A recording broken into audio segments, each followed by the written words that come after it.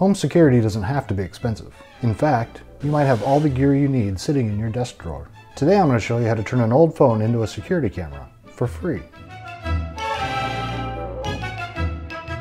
Have you been considering installing a security camera in your home? Maybe you want to see who's ringing your bell before you answer your door.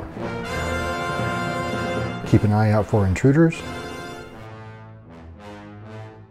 Or even set up a baby monitor.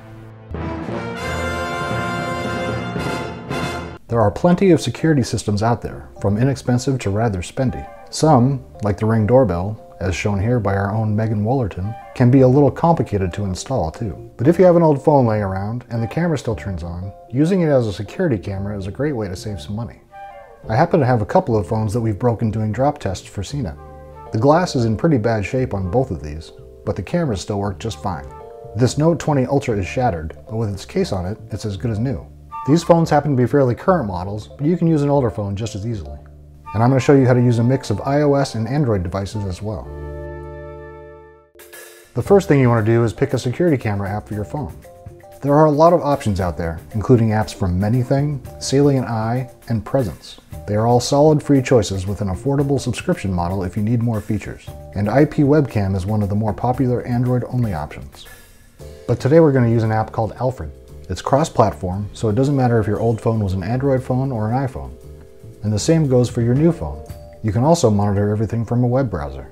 Alfred is free to use and gives you a remote view of your live feed, motion detection with alerts, free cloud storage, a two-way audio feed, and use of both the front and rear cameras. To unlock additional features like high-resolution viewing and recording, zoom capabilities, ad removal, and 30-day cloud storage, you can upgrade to Alfred Premium. To get started, I'm going to download Alfred on my regular phone that I use every day, in this case, my Pixel 3a. This will be the phone you use to view all the rest. Then I'll download the app on all these broken phones, and this perfectly good iPhone, just as examples. On the new phone, sign in with your Google account credentials.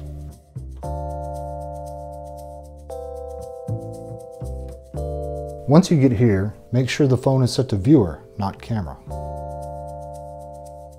On the old phones, you can sign in using your Google account, but instead of selecting Viewer, select Camera.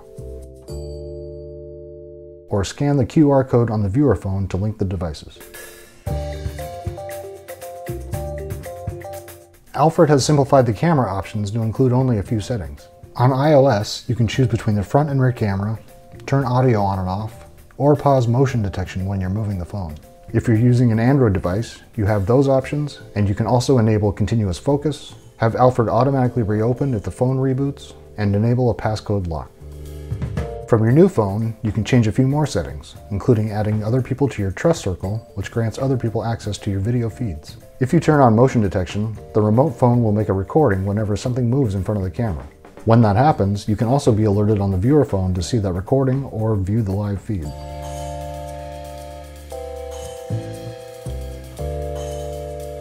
Once you have the stream up and running, you'll need to set up and position the camera or cameras. You may want it focused on the main entry point to your home, your backyard, the place where you store valuables,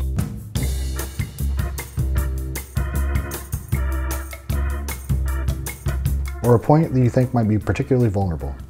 Okay, no. You can also set up a remote camera as a baby monitor. When you pick out your spots, you'll have to figure out how to mount the phones. A small smartphone tripod or suction cup car mount can work wonders and help you position the camera in an inconspicuous place. To broaden the field of view, consider buying a wide-angle lens for your phone. You can find them between 5 and $20 online. Once the security phones are mounted, be sure to put Alfred into power saving mode to lock and dim the screen. But since the phone will be on 24-7, to keep the phone from dying in the first few hours, you'll need to position it close to a power source and keep it plugged in. A 10-foot USB or lightning cable will give you more flexibility in where you put it. Now that you're all set up, you can use your phone to monitor all your cameras, or pull them up on your computer to take a look. If you see anything interesting, you can hit record to capture the action. Press the mic button to make an announcement through the remote camera. Hey, get out of those bushes. Or even press the siren button to trigger a loud alarm to scare away any pests or intruders. Okay, that's it for today. Hopefully you're set up to feel more secure in your homes, and we've kept a few more phones out of the landfill. Be sure to subscribe to the How to Do It All channel for more videos like this.